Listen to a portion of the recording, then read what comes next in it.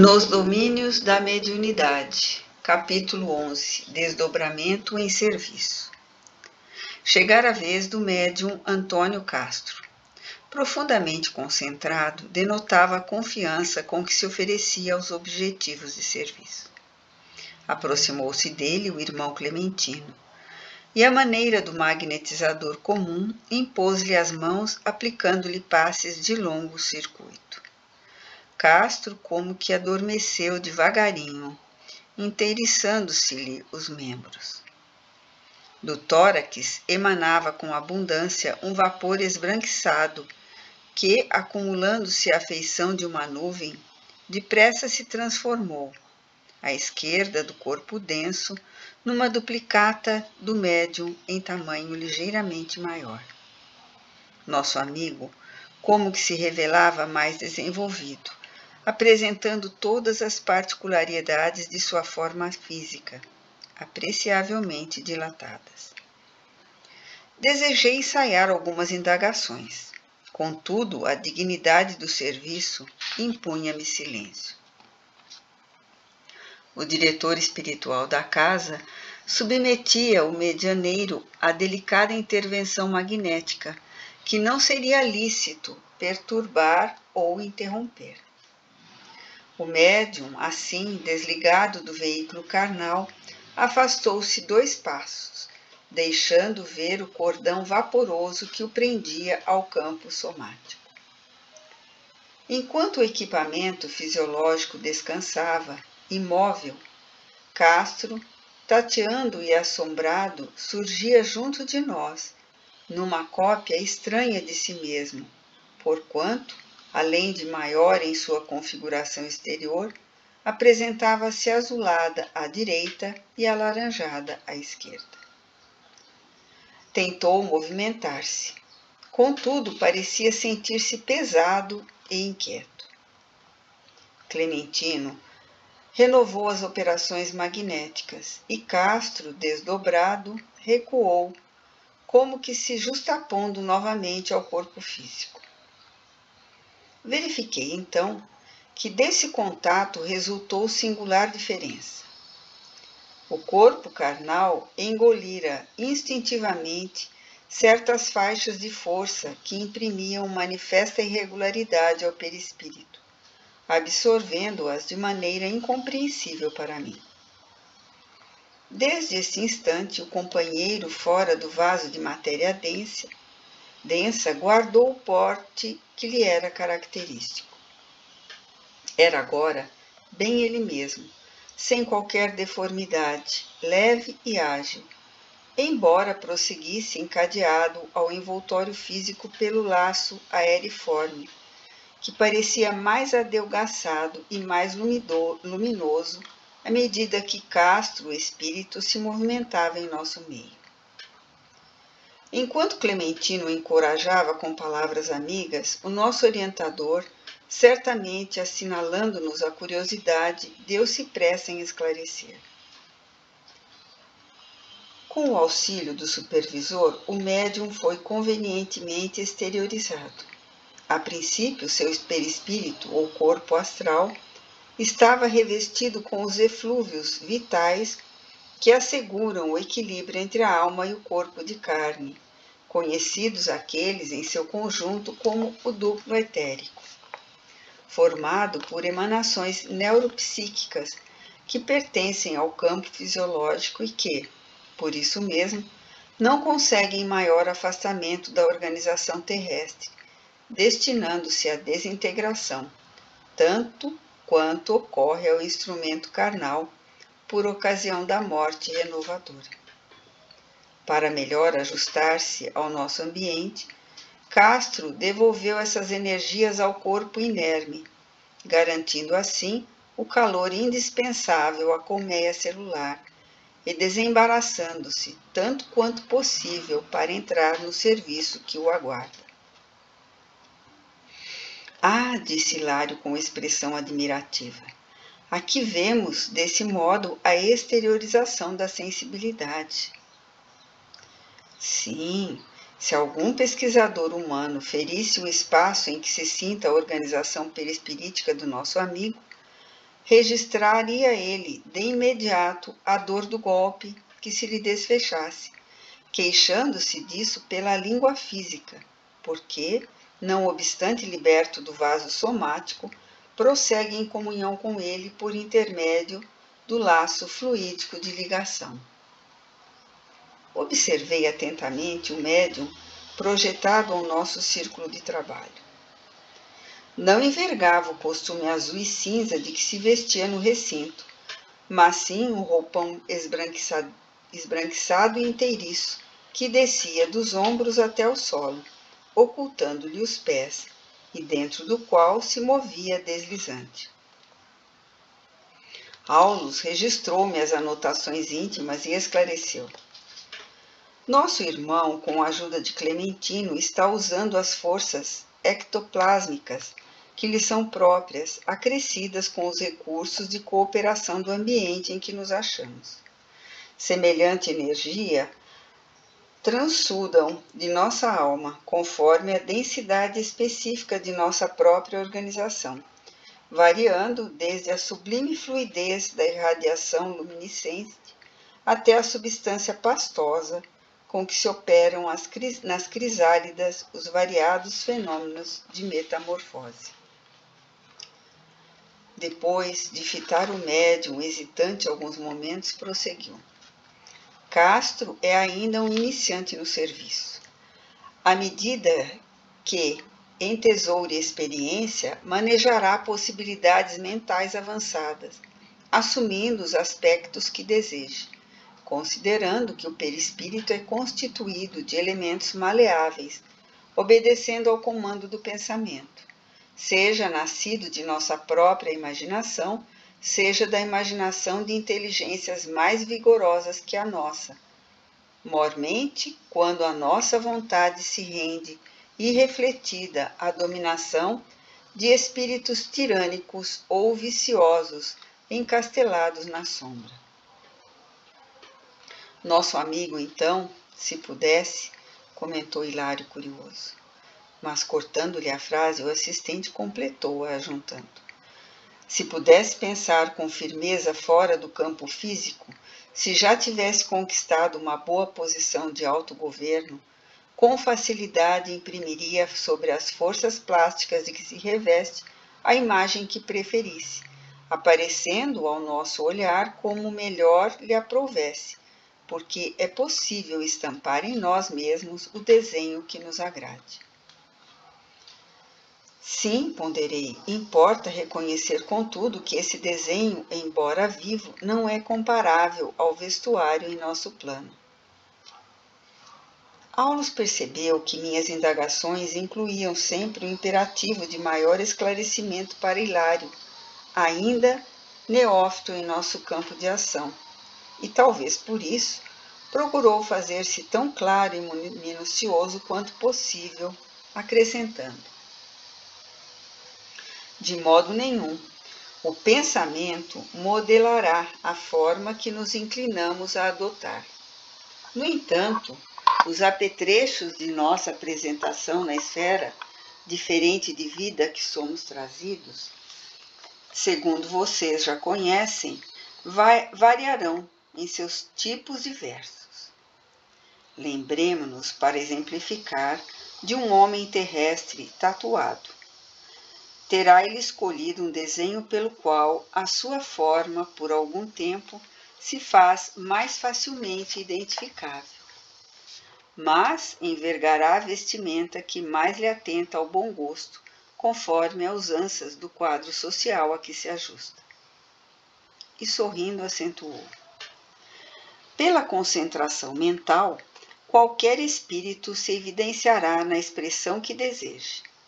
Todavia, empregando nossa imaginação criadora, podemos e devemos mobilizar os recursos ao nosso alcance, aprimorando concepções artísticas no campo de nossas relações uns com os outros.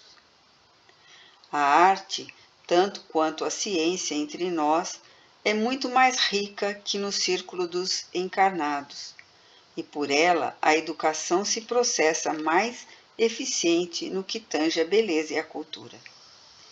Assim como não podemos conceber uma sociedade terrestre digna e enobrecida, tão somente composta por homens e mulheres em nudismo absoluto, embora com maravilhosos primores de tatuagem, é preciso considerar que os indivíduos de nossa comunidade, não obstante dispondo de um veículo prodigiosamente esculpido pelas forças mentais, não menoscabam as excelências do vestuário, por intermédio do qual selecionamos emoções e maneiras distintas. Não podemos esquecer que progresso é trabalho educativo. A ascensão do espírito não seria regresso ao empirismo da taba. Aulus silenciou. O médium, mais à vontade, fora do corpo denso, recebia as instruções de Clementino, que lhe administrava de modo paternal.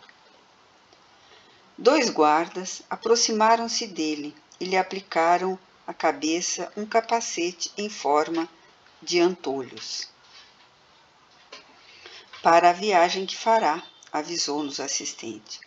Castro não deve dispersar a atenção. Incipiente ainda nesse gênero de tarefa, precisa instrumentação adequada para reduzir a própria capacidade de observação, de modo a inferir o menos possível na tarefa a executar. Vimos o rapaz plenamente desdobrado alçar-se ao espaço de mãos dadas com ambos os vigilantes. O trio volitou em sentido oblíquo sob nossa confiante expectação. Desde esse momento, demonstrando manter segura comunhão com o veículo carnal, ouvimos-lo dizer por meio da boca física. Seguimos por um trilho estreito e escuro. Oh, tenho medo, muito medo. Rodrigo e Sérgio amparam-me na excursão, mas sinto receio. Tenho a ideia de que nos achamos em pleno nevoeiro estampando no rosto sinais de angústia e estranheza, continuava. Que noite é esta?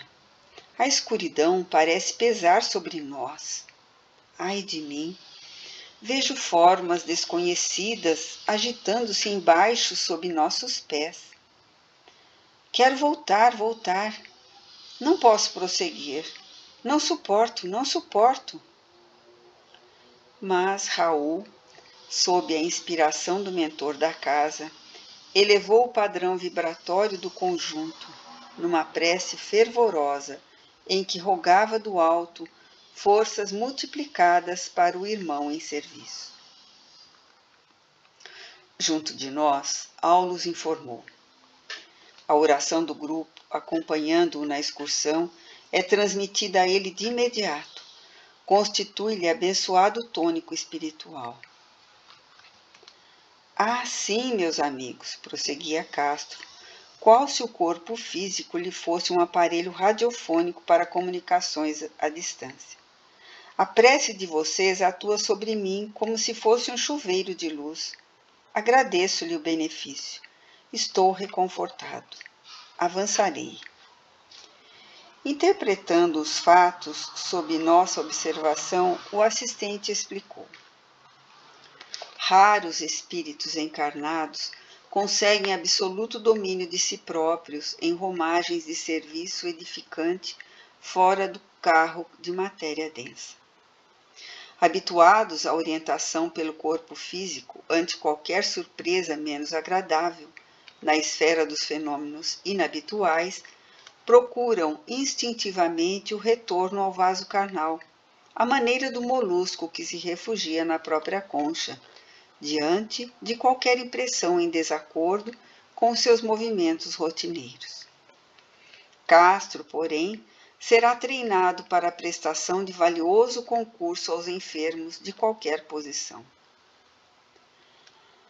Enquanto assinalávamos o apontamento, a voz do médium se elevava no ar vigorosa e cristalina. Que alívio! Rompemos a barreira de trevas. A atmosfera está embalsamada de leve aroma. brilham as estrelas novamente. Oh, é a cidade de luz.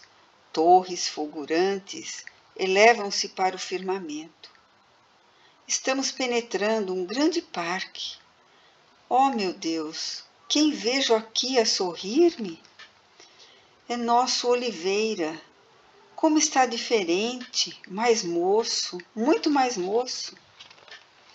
Lágrimas copiosas banharam o rosto do médium, comovendo-nos a todos.